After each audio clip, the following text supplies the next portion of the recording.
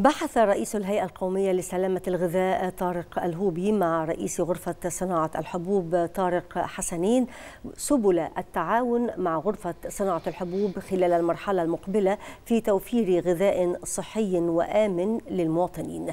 أشار رئيس الهيئة القومية لسلامة الغذاء إلى أهمية التعاون مع الغرفة كونها تختص بالسلع الاستراتيجية التي تمثل دورا مهما في النظام الغذائي للمواطن المصري مشيدا بنجاح موسم توريد القمح المحلي للعام الجاري.